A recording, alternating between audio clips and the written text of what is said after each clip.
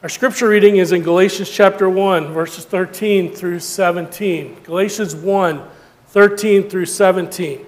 The Apostle Paul's the writer, and he said, For you have heard of my former life in Judaism, how I persecuted the church of God violently and tried to destroy it. And I was advancing in Judaism beyond many of my own age among my people, so extremely zealous was I for the traditions of my fathers. But when he who had set me apart before I was born and who called me by his grace was pleased to reveal his son to me in order that I might preach him among the Gentiles, I did not immediately consult with anyone, nor did I go up to Jerusalem to those who were apostles before me, but I went away into Arabia and returned again to Damascus. And may God add his blessing at the reading of his word this morning. Let's bow for prayer. Father, we commit this message time to you. We thank you for the inerrant, inspired word of God that's our final uh, foundation for faith and truth and reality in this life. And Lord, we, we, these are not mere words of man, but from you. And Lord, as we extrapolate them, as we look into them today, I pray you help us to understand because of the Holy Spirit to enlighten us and to apply these things to our lives. We pray and ask in Jesus' name. Amen. In 1 Peter 3:15, it says, "But in your hearts honor Christ the Lord as holy, always being prepared to make a defense to anyone who asks you for the reason for the hope that is in you, yet do it with gentleness and respect. We're going to talk about how we can preach the gospel in the name of Jesus, and that's what Paul did. And it begins with us in our hearts being ready to share that gospel with other people. Our purpose today in this message is that every Christ follower must be ready always to share how our life was before Christ how we came to Christ, and in our life after Christ, the transformation that occurred with those who want to know the hope that lives within us. When it comes to our salvation experience, we're called by God to be bold and unashamed of the gospel that transforms our lives. I think back in spring of 1973, I had just become a Christian in October of 1972. My next door neighbor, Skip Pasquarelli, my friends, Bob Humphrey, Tom Jacobs, and all our friends, we would get together and play baseball, we play hockey, we do all these things. But in the spring, we went to a new church, and that pastor gave us a little booklet called The Romans Road.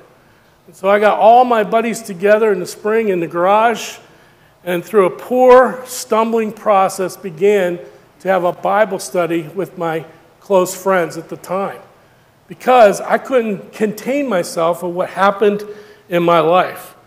See, we live in a deeply post Christian culture, and we are the 15th most post Christian community in the United States Davenport, Bettendorf, Rock Island, and Moline. People in our world are open more than ever to spiritual conversations.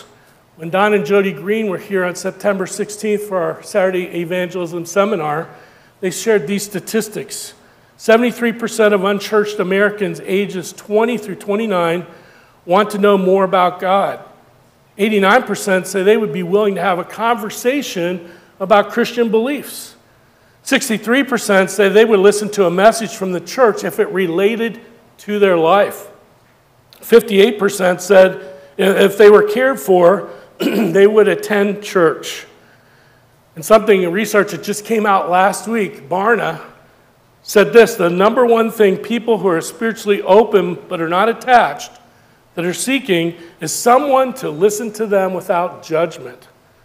The next two qualities they're looking for in Christians are people who are honest about their doubts and don't force them into conclusions. Kind of sounds like what most of us want in a friend in a conversation anyway, isn't it? So, why aren't we sharing our faith? Well, Don and Jody Green at that seminar shared a few things from Cru, Campus Crusade for Life, they've done surveys, lack of desire. We don't have a burden for the lost. Fear, fearful we might mess up in sharing our faith. Lack of know how. we need to be trained and learn more. Few friendships with non believers, that's a problem. We need to find ways to get out of our areas that we're in with believers and engage with others as well. That's one of the things I do at teach at Scott Community College. Austin works over at Milltown as a barista. We find ways to connect with non believers. So, busyness, our busy schedules. We have the source for life change, but like a power cord that does not send power to a lamp until it's plugged in, we have to be the source of that power to share with those around us. So let's look at Paul's biography this morning, which covers his life before Christ, how he came to Christ in the book of Galatians here, and his life after receiving Christ. So if you have your outlines out, the first blank is delight. The delight of sharing your testimony is evidence of your salvation. The delight of sharing your testimony is evidence that you're saved, that you can't help but share what God has done in your life. Paul's former life before knowing Christ. Look at verses 13 and 14. We just read those a moment ago. For you have heard of my former life in Judaism, how I persecuted the church of God violently and tried to destroy it, and I was advancing in Judaism beyond many of my own age among my people. So extremely zealous was I for the traditions of my fathers. Paul's pre conversion life was totally centered on keeping the law and being zealous to maintain the truth, even to persecuting those who were, in his mind, false teachers. He had no understanding of grace, even though grace was seen throughout the Old Testament. The Jews had long lost sight of grace, and the Pharisees were all about the law, adding to the law, and following tradition. It was a behavior based, not a heart based religion. This made Paul diametrically opposed to the gospel of grace out of ignorance. Look at Philippians 3 on the screen, and we see his pedigree, we see his credentials. He says, Though I myself have reason for confidence in the flesh also, if anyone also else thinks he has reason for confidence in the flesh, I have more. Listen, I can top everybody with all my pedigree, he's saying. Verse 5 circumcised on the eighth day of the people of Israel, of the tribe of Benjamin, a Hebrew of Hebrews. I want to stop there and we'll come back to Philippians, but I want to pause and say he was taught by one of the greatest rabbis of the day, Gamaliel. And so, Gamaliel, as it says in Acts 22 3, I am a Jew born in Tarsus in Cilicia, but brought up in the city, educated at the feet of Gamaliel, according to the strict manner of the law of our fathers, being zealous for God, as all of you this day.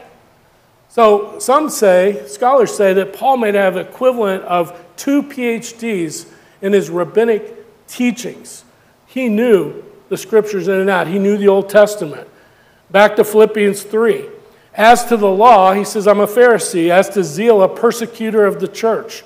As to righteousness under the law, from his perspective before Christ, he was blameless. But whatever gain I had, I counted as loss for the sake of Christ. Indeed, I count everything as loss because of the surpassing worth of knowing Christ Jesus my Lord. For his sake, I have suffered the loss of all things and count them as rubbish. Now, in the original language, it's dung, manure, and we can't describe it any more than that. That's how he views it in order that I may gain Christ and be found in him, not having a righteousness of my own that comes from the law, but that which comes through faith in Christ, the righteousness from God that depends on faith, that I may know him in the power of his resurrection and may share his sufferings, becoming like him in his death. The law, as we'll see later on in Galatians, is a schoolmaster, a tutor. It can't save us, but it brings us to the fact that we can't keep the law and we need a Savior. In James, it says if we've broken the law on one point, we're guilty of breaking all of it. So the law is a tutor to say, hey, you need to go to Christ. This is, this is better. This is what you need. And that's the purpose of the law to show us we can't measure up. Where does the righteousness come from? In 2 Corinthians 5:21, it says Jesus who knew no sin became sin for us that we might become the righteousness of God. That when we ask Jesus to forgive us of our sin, to come into our heart and our life, that his righteousness of Christ is imputed, is placed within us, and he takes away our sin to give us forgiveness. And so the righteousness we receive is through grace, through faith in Christ. So if Paul counted on his Jewish education, his zeal, and blameless attitude toward the law, why did he count it as dung and as a loss? Because he know, knew that it wasn't enough to attain the righteousness of God. Back to 13 of Galatians 1, Paul wanted to destroy the church. The word destroy means soldiers at war ravaging a city. It is in the imperfect tense, which means that Paul is going to continue to do it over and over and over again. He held the coats of those who stoned Stephen to death. He went house to house looking for Christians to imprison in Acts 8. Perhaps a year later, he went to the high priest at the time and received letters of permission to travel to Damascus and along the way imprison those who were following the way of the Nazarene, as they were called at the time in Acts 9. Paul's goal was to crush the small infant Christian church before it grew even more. And after Paul was saved because of the past persecution of the Christians that he performed, he felt a great sense of unworthiness when considering his apostleship. It kept him humble and able to handle the persecution that God called him to in his life with joy. 1 Corinthians 15 9, for I am least of the apostles, unworthy to be called an apostle because I persecuted the church of God. To repeat, Paul was a Pharisee, and the Pharisees had no room for a gospel of grace, and they sought out those who believed it and taught it to exterminate them. In verse 14, Paul is saying he was above everyone else in his zeal for Jewish traditions and the law before his salvation. Notice he says, I was advancing in Judaism. That means to chop ahead as if blazing a trail through the forest. Paul was blazing a trail for Judaism, which meant cutting anything down in the path like the Jewish Christians who would subvert Judaism. And these people were traitors and now arch enemies of the Jews. He pursued them to synagogues and foreign cities in Acts chapter 26. You see the word many. Paul exceeded all the others with his passion for his religion and his intolerance for the truth about Jesus Christ in Philippians 3, as we read. See, ancestral traditions, that's the body of oral teachings about the Old Testament law that came to have equal authority to the law found in scriptures. The Halakha was a collection of Torah interpretations, and it built a fence around God's revealed law and all but hid the scripture law from view. They got so wrapped up in the interpretations of the rabbis that they didn't look to the scripture directly to find the truth.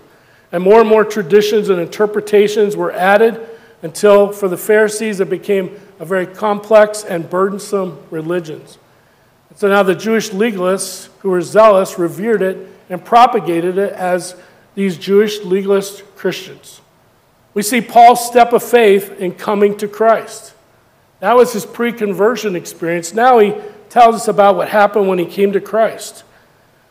In verse 15, he says, But when he who had set me apart, God, before I was born, and who called me by his grace, was pleased to reveal his son to me in order that I might preach him among the Gentiles. I did not immediately consult with anyone, nor did I go up to Jerusalem to those who were apostles before me. It's interesting to think about the length that God will go to save someone. Think about it. Only the resurrected Christ himself could have reached the heart of Paul, the Pharisee, the premier Jew of the Jews. After salvation, nothing but his transforming power of the gospel could cause Paul to identify with those he was attempting to destroy. God called Paul to salvation and service as he does every believer. Ephesians 2:10 for we are God's workmanship created in Christ Jesus to do good works which God prepared in advance for us to do. In 1 Peter 2:9 he says that you and I we are called to be royal priests to serve him. So Paul was called before he was born to bring the gospel to the Jews, but primarily to the Gentiles. And like Jeremiah and Isaiah, if you read their stories, they were called in their mother's womb. Like John the Baptist, Paul was not ranking his calling, but is saying that just like these men, his calling was from God as well. God called him through his grace by his unmerited love and kindness as God does for everyone who comes to faith in Christ. I was reading a story in, on an Assembly of God website about how Muslims are, and you've heard this about Muslims having dreams, and in those dreams, they're about Christ and different things. And then they go and find a Christian to interpret and lead them to Christ. Recently, one of the leaders shared a testimony. A woman had left the Muslim faith, but she was full of hatred and suspicion of Christians. She didn't know what to do. She asked God for help. One night, she had a dream where she saw a shepherd walking about an empty tomb with a staff, and he walked around that empty tomb three times. And then he headed toward the woman. And he had a loaf of bread in his hands, which he broke and offered to her. And he, and he took it and he gave it to her and said, Take, eat. This is my body. She woke up. She was traumatized by that dream. She found someone who was a Christian. She got the interpretation, understanding that was Jesus coming to her. And she became a believer in Christ. God works in amazing ways, like he did in the life of the Apostle Paul on the road to Damascus, like in the life of this woman. God will do whatever he needs to bring someone to himself. We see in verse 16 the content of Paul's preaching is Jesus Christ.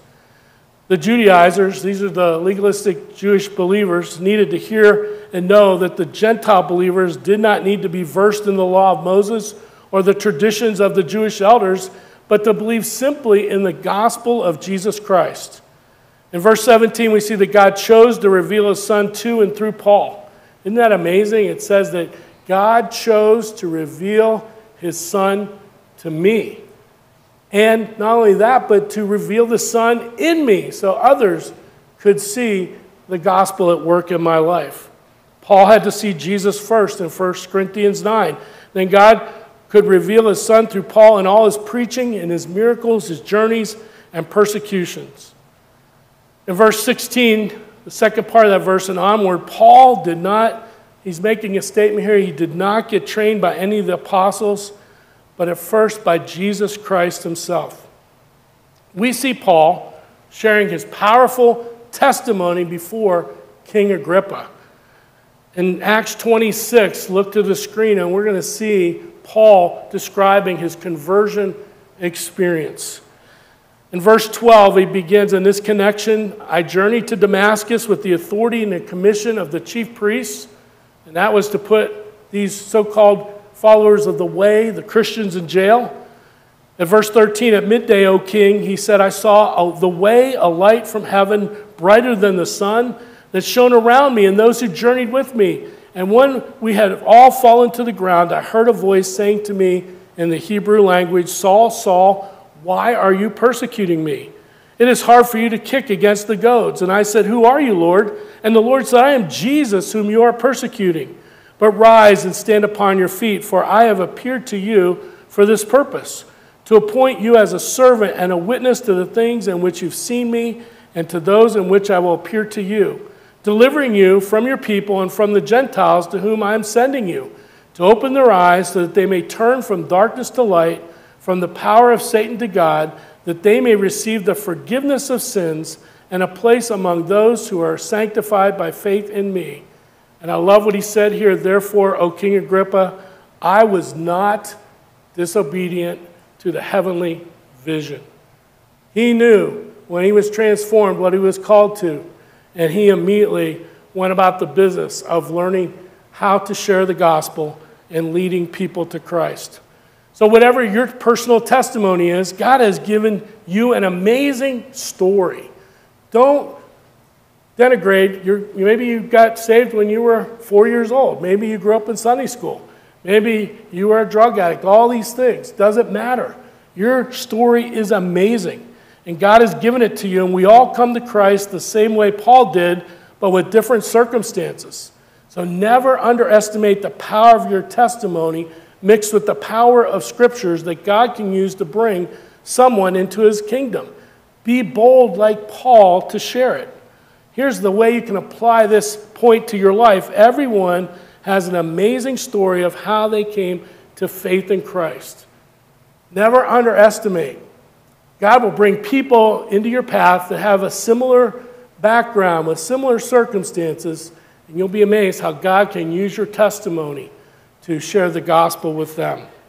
Well, Paul not only received the gospel of Christ, but he was faithful to God's calling to share it with others. The next blank there is the desire, the desire to share the gospel, the desire to share the gospel.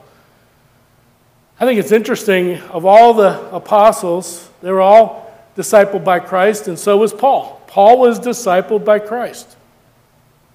In Galatians 1, second part of verse 17, but I went away into Arabia and returned again to Damascus.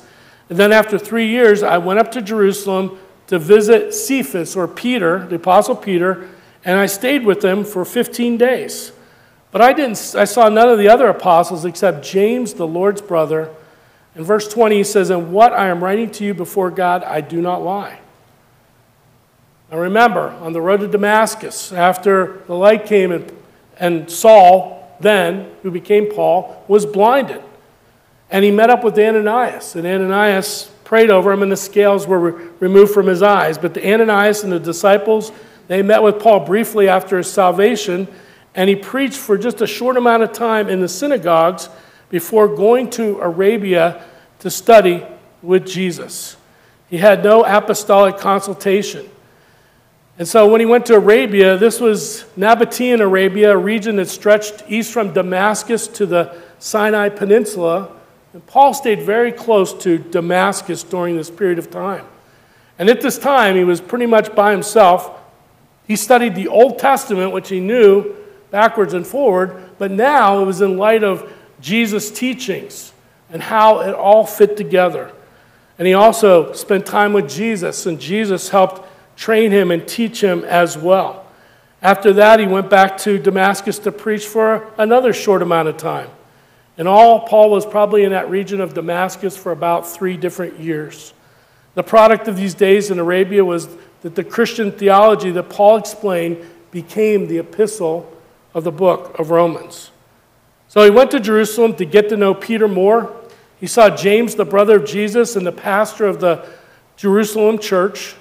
James was an apostle in the broadest sense of the word because he was pastor of that local church in Jerusalem. And Paul and the 12 apostles were commissioned to be witnesses to, as they were witnesses to the resurrection and had unique power and authority because they all had that similar experience. So Paul stayed with Peter for 15 days, and Paul's purpose for going to Jerusalem was only to get to know those apostles, these apostles who shared life with Jesus.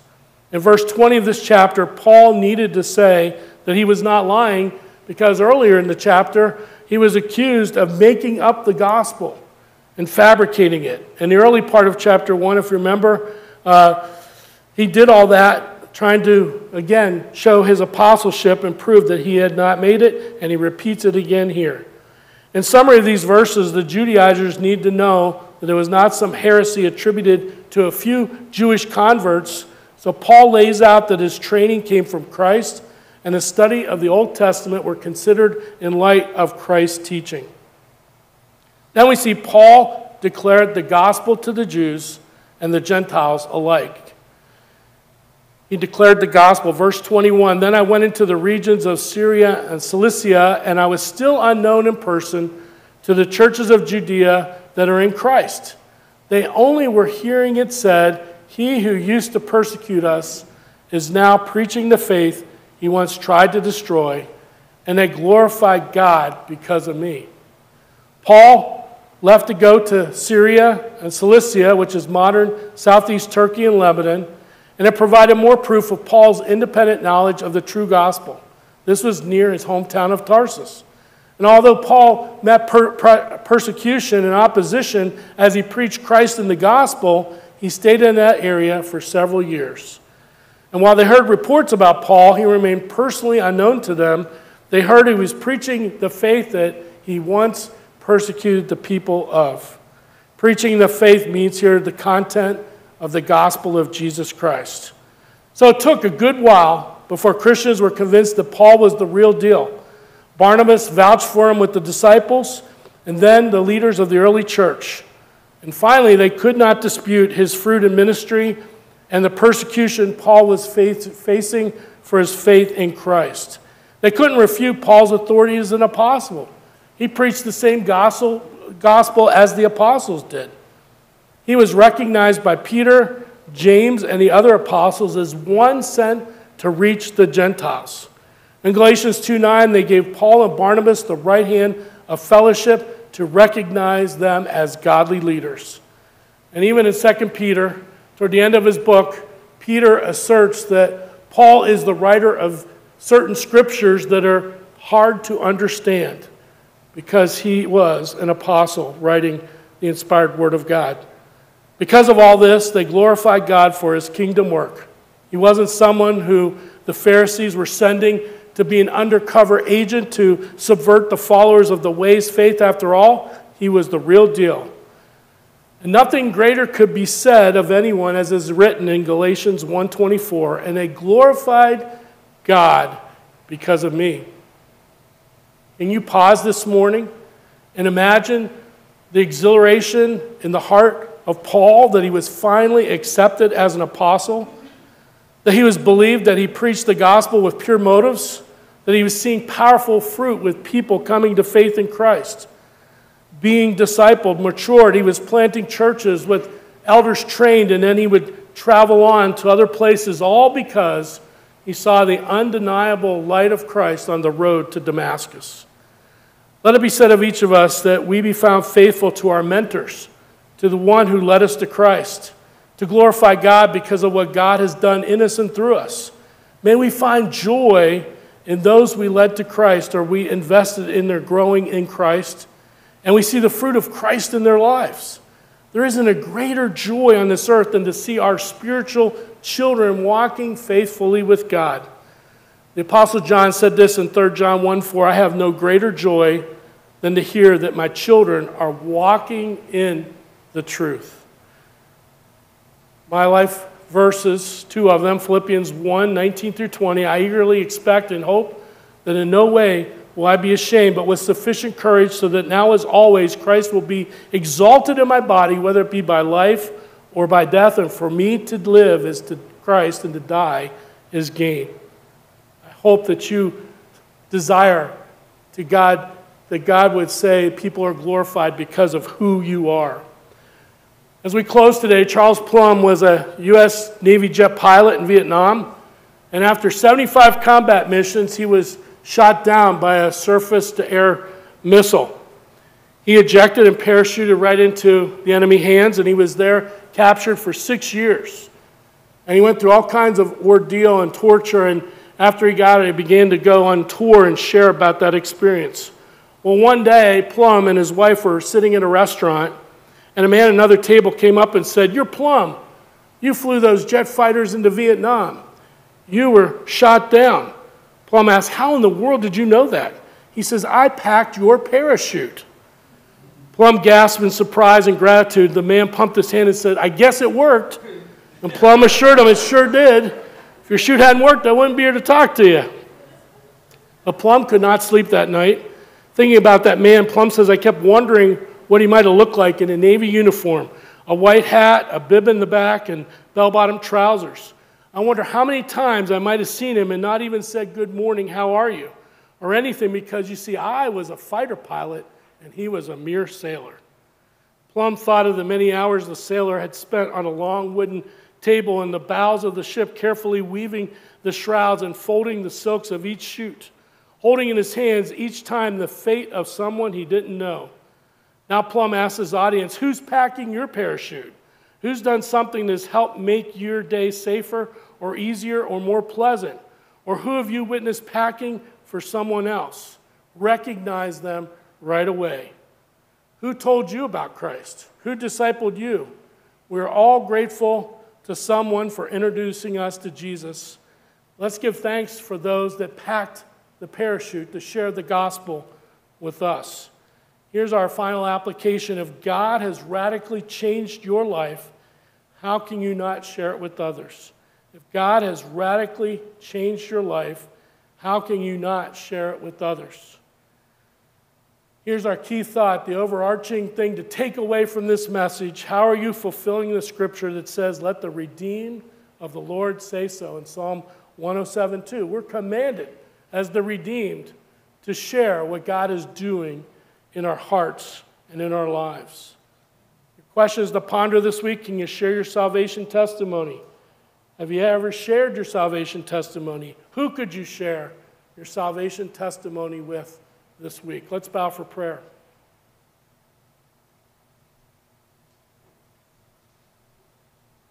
Father, we thank you for the Apostle Paul. Lord, I just, it's hard for me to put myself in his shoes, as radical as, as a fanatic he was, to try to maintain the truth before he was saved out of ignorance. But then to see the light switch flip, and all of a sudden, he was as strong and fanatical and bold for Christ after he received the gospel. Lord, help us to take lessons from the Apostle Paul. Help us, as we said in those statistics at the beginning of the message, know that there's people out there who are open. If we will take the time to listen, to be not judgmental, and to have continuing conversations, spiritual conversations, to share the good news of Christ with others. Give us that opportunity this week to do that with someone. We pray and ask in Jesus' name. Amen.